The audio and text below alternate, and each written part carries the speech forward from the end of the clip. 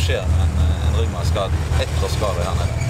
Jeg tenker det som jeg, vi ser verst rett etter skade, at de blir liggende ned eh, uten eh, noen form for eh, trykkavlastning, uten en skikkelig madrass, og får svære trykksår. Og svære trykksår, hva betyr det for en pasient? Det betyr at eh, vi ikke kan ta pasienten opp i rullestol og komme i gang med trening og rehabilitering.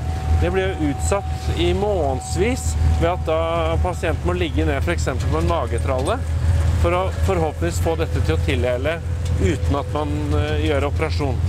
Det vi har erfaring fra, er at eh, mange med ryggmargskade som først kommer seg gjennom akuttfasen og blir rehabilitert, lever gode og meningsfylte liv i landsbyen sin og deltar aktivt på linje med andre.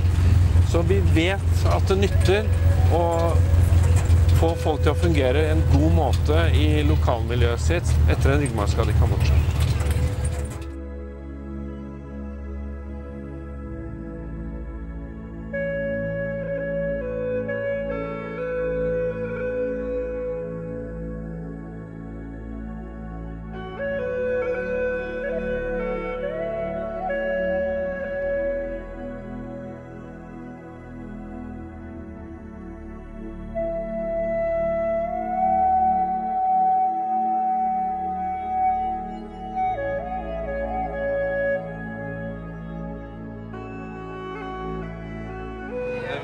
Hva er dine oppgaver i, eh, i eh, fredskorpsprosjektet?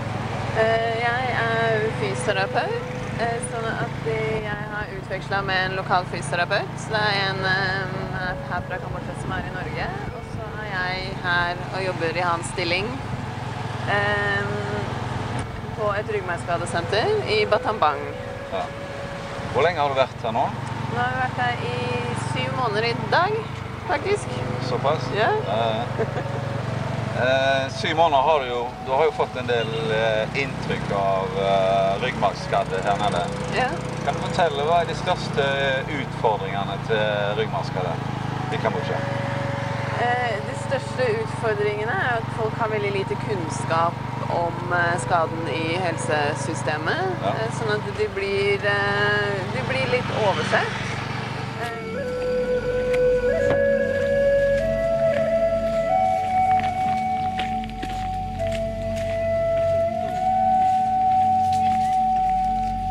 Når du ser disse sårene, hva tenker du?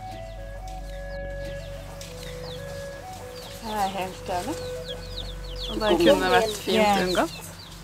Hadde han fått god opplæring i hvordan Du har jo jobba noen år på Sunnaas, ikke sant? Før du kom her. Har du noen gang sett noe sånt i Norge? Ikke så, ikke så mange på en